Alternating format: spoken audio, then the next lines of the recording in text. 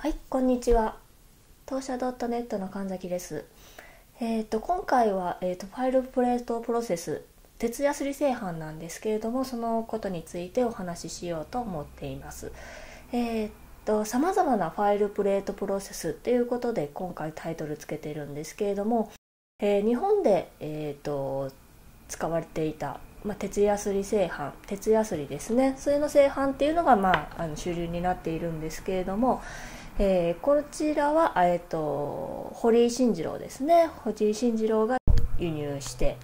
で、えー商品化して日本で、えー、と普及したっていうものが始まりなんですけれども、えー、と堀井以前の徹夜水製版っていうのはもちろんせあの存在してましたしてますしえっ、とこの堀井が持ち帰ったあのエジソンのファイルプレートプロセスですねエジソンのミメオグラフというものもどういったものであったかっていうところもちょっと紹介していこうと思ってます。で、えー、とこれからの話も交えて私の方でさせてもらうんですけれども、えーとまあ、いろんなファイルプレートプロセスがある中で今から見るゲステッドナーが作ったファイルプロプレートプロセスっていうのがあるんですけども、えー、とこのゲステッドナーのファイルプレートプロセスが結構可能性があるものになってます。ですのでこちらもちょっと詳しめに、まあ、あの試験的に実験とかもあの交えてあのご紹介できればと思っています。で徹夜すり製版なんですけれども、まあ、まず初めですね。日本で使われていた徹夜すり製版ということで、えっと、ヤスリの上に原子を置いて製版する、あのーもうガリ版と言われる愛称がつくぐらいのそういう製版方法なんですけども日本で使われていたえー、と製版方法だけではないというところですね。そういうところですね。でそのまあ、私自身がその方法を知ったのは、えーもちろんあの断片的にインターネットとかその資料とかではあの紹介してるのを見て分かってはいたんですけどもきちんと詳しく載って載ってる文章を拝見できたのがこの「オリジン・オブ・ステンシル・デュプリケーティング」ですね、えー、とこちら1970年に70年代ですね。失礼いたしました。70年代に、えー刊行された、えー、とプラウドフード著の、えー、と印刷誌ですね。印刷の歴史が載ったものなんですけど特にあのミメオグラフ後半関係が詳しく載ってるっていうような書物がありまして。でこちらから、まあ、あのきっちりままとまった状態であの書籍あの文章であるとかっていうのをちゃんと確認することができたので今回もこちらから、えっと参考にしながら、まあ、プラスアルファあの特許の特許とかあの紹介しながらあのファイルプレートプロセスをあの紹介していきたいなと思います。ですね。で、徹夜水の製造方法ですね。で先ほどのいった、まあ、細かな、あの、目打ちというのは、こういった、上から、えー圧をかけて、ゴンゴンゴンと、えっ、と、タガネで打ち込んでいくという目切りの様子ですね。徹夜水の目切りの様子ですね。こちらの写真になっております。ファイルプレートプロセスではどういったものだったのかっていうのを紹介していこうと思います。えっ、と、ズッカート、エジソン、ゲステッドナーということで先ほどの写真にありましたように、あの、紹介したんですけれども、図がこちらになります。ズッカート。ズッカートは先ほどのオリジン・オブ・ステンシル・デプリケーティングの中に入ってる、えっ、と、図ですね。で、エジソンはエジソン特許から出してました。で、ゲステッドナーはゲステッドナーサイクロスタイルス証紙っていうのがあるんですけども、ちゃんと言うと、The Story of、えー、Little Wheel That Started a Big Revolution 大きな革命を起こした小さな歯車の話という、まあ、タイトルのちょっと長いんで、サイクロスタイル証紙って言ってるんですけれども、まあ、こちらから取りました。ですね。この、まあ、同じように見えるんですけど、若干違いがあります。そこら辺も含めてちょっと紹介していこうと思いますね。はい。で、まず、えー、1877年に作られたトリポグラフですね。作られた、あの、開発されたトリトリポグラフですね。こちらを言ってきます。で、写真も、えー、先ほどのオリジンオブステンシルデュプリケーティングですね、から撮りました。で、えー、好きで耕した畑の溝のように、金属板に水を入れて作ったというような表現されています。出ます。このオリジンオブステーシルデュプリケーティングの中にね、書いてるんですけれども、まあ、作り方に関して言ってるのはこの書籍ぐらいしかずトリポグラフの情報はちょっとなかったんですけども、極めて日本の製,、えー、の製造と似てるんですよね。で、好きっっていうのがタガネですね。ね。それで、耕した溝の、畑に、畑の溝のように金属板に水を入れて作ったんですね。で、トントントンと作ったって。ほとんど同じです。で、で、3台の写真もここちらにも載せているんですけども、こちら、あのー、今、当社版で使われているローラじゃないんですね。スキージー形式ですね。あのー、シルクスクリーンのすり方と同じですね。うん。まあ、取っ手はついてますけども、まあ、スキージーでするという方法になってます。ですね。で、もうヤスリ製造はこの段階でできてたっていうことですね。ですので、このオリジンオブステンシルデプリケーティングにもザ・ファイル、ファイルプレートプロセスと言ってるのはこのトリポグラフのことを指してます。はい。で、次。ミメオグラフですね。これが、えっ、ー、と、エジソンのものになります。1876年、エレクトリックペン開発と当社印刷機ですね。スリライのことなんですけども、先に開発されます。その後に1880年、ヤスリ製造発明を行います。ですね。ヤスリ製版の発明を行います。ですんで、えっ、ー、と、エジソンの方がヤスリ製版の発明は後になります。1877年が、えっ、ー、と、トリポグラフですから、ズッカートのトリポグラフですから、えー、3年後ですね、ヤスリ製版の発明は、えー、エジソン。で、1880年のエジソンの特許の話になるんですけれども、えっ、ー、と、エジソンのファイルプレートですね、本題のファイルプレートはどういったものかとなりますと、表面に多数の鋭利な点があるスラブまたはえー、プレートを使用使用します。まあまあここまで同じですね。でこれの表面は、えー、お互いに密接にせ、えー、設定された針先またはワイヤーポイントで構成されその両端は同じ平面にありボディはハンダまたは、えー、鋳造金属で結合されています。あるいは、えー前前期表面は図に後でもお見せするんですけども断面及び、えー、図平面図図2に、えー、表示されているように間にある鋭利な点が突き出るような溝が刻まれた表面に蓄えられた、えー、金属板であっても良いですね。このように準備及び硬化された、えー、後半、えーとが好ましい。ということで書いてあります。まあ、これを見ると、エジソンのファイルプレートですね、次の写真を見ると分かるんですけども、ファイルプレートっていうのは、どうも、あのー、針、剣山のような形だったんじゃないのかなと思われます。うん。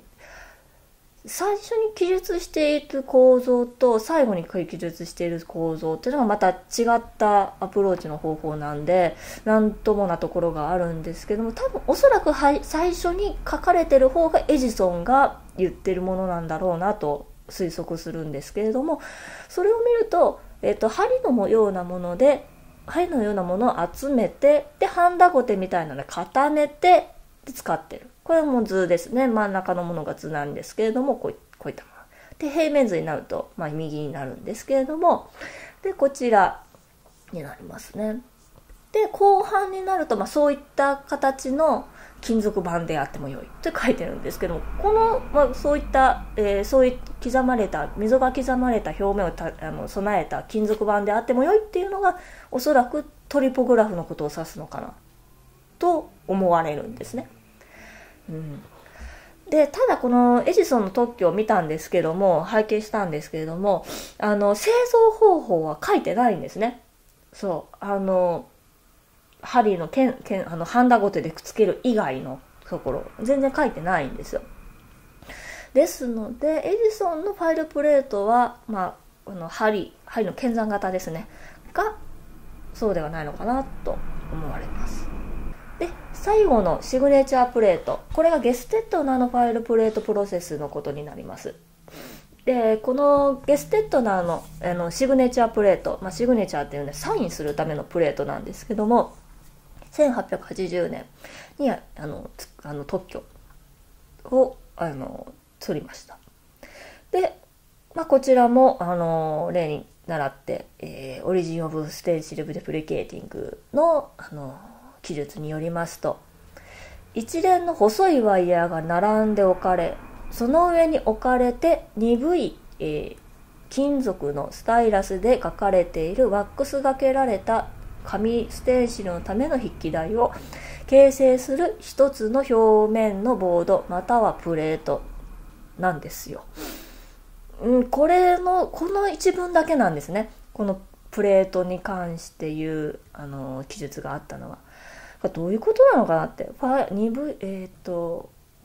一連一連の細いワイヤー並んで置かれてどういうことなのかなって。ちょちょっと想像がしにくくて。で、えっと、並んで置い置いてて製版できるのかなっていうような気がしたんですね。でちょっとわからないなで置いてたんですけどもやっぱり聞くべき人はちゃんといまして。えっと入手できました。えっ、とこちらあの写真あの実物をお持ちされているアーウィン・ブロックさんからいただきましてでシグネチャープレートこういうものですよっていうのを写真をいただきました。ありがとうございます。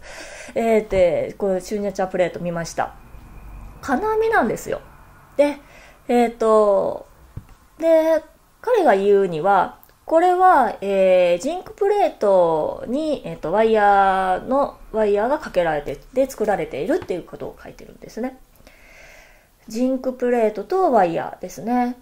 ですね。はい。ジンクプレートって亜鉛板ですね。すいません。亜鉛板なんですけども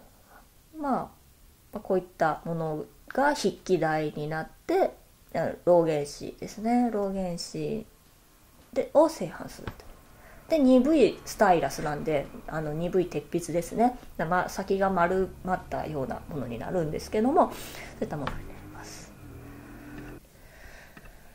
で当社でのあの金属製版ということなんですけれども実はこの金網製版紹介される前からあの金属製版えごめんなさい。金網製版っていうのをあの私のワークショップの方でもやってましてでヤスリ製版以外のあの製版方法の一つとしてあの紹介はしてたんですね。で表現講座というはあの講座があの受講していただいてでやっていただく内容課題の内容の一つで、えーと、金網ですねステンレスの金網なんですけれどもそれを使ったあの製版を行っていただいていたっていうのがあるんです。デメリットとして目の細かい100メッシュですね特に100メッシュ60メッシュ60メッシュはまだマシなんですけども100メッシュに関してはえっ、ー、とへたりやすいんですよ。ダメージがあるんですよね。金網の方に。製版製版するとなるとやっぱりしっかりあの書きますんでやっぱり金属のスタイラスであるとかあの鉄筆によるあのダメージが大きくてで結構へたりやすくってっていうところがちょっとデメリットなところですね。ですんでテクスチャー的な使い方を案内してました。ちょっとしたあの、まあ、模様とか使うあのテクスチャーを使う使うのにあの使っていただいたって感じですね。これここに、えーと金網製版を施していただいてます。ででシグネチャープレートを、まあ、見せていただいてあの金網製版のデメリットのところですねへたりやすいっていうところの改良ができるんじゃないのかなっていうところでちょっとやってみました。で、えっと、シグネチャープレートは、えー、ジンク板ですね。あの亜鉛板にあの別種を取り付けてっていうようなあの製品でしたんでもうこれも金属板に両面テープで取り付けたという、まあ、簡単な改良を施してみました。で結果です。でその位置の方で作ったのが左ですね。でその2の二層補強ありの方の製版になるとこのようになります。あの意識はしてないんですけども同じようになるように製版したんですけどもやっぱりここまで違いがあるんですね、はい、下絵の絵があの、まあ、写真があるんですけれどもこちらなんですけれどもこちらだと、まあ、黒いカラスの絵なんですけどもやっぱり黒く塗りつぶそうとなるとしっかり密着しないといけないっていうのは、まあ、ヤスリ製版であれ金網製版であり、まあ、あの共通するところでありまして。で、まあ、浮きがある場合だとこのちょっと白っぽくなってしまったっていうところがあって。やっぱりニス補強込みでやっておくっていうのが必須になるのかなって必要になるのかなと思います。ですね。ですのでこの方法でしたらこのファイルプレートプロセスですね、えー、の研究の一つとしてあの簡単にしかも簡単にあの導入できるヤスリ製版ですね。あの、まあ、日本でいるとなるとあのファイルプレートプロセスっていうのがガリ版のやヤスリっていうのはネットオークションとかでも、まあ、入手はしやすいと思うんですよ日本では。でも海外にいるとやっぱりなかなか入手できなくってっていうのが結構見受けられて。で早々にあのファイルプレートプロセスっていうのはもうあの撤収して。でなんだろうパあのタイプ原子の方にあの海外の方では移行してますんでタイプライターのように製版ですね。になってしまってますんでファイルプレートプロセスっていう技術の寿命はすごく短かったように思います。海外では。まあ、ただ日本ではまあここまであの50年ぐらいもっとあります。し、まあ、印刷業としてやってたぐらいなんであの、まあ、息は長かった技術ではあるんですけれども。まあこここういう方法がありますよというような研究の一つの紹介になります。でまたこのあの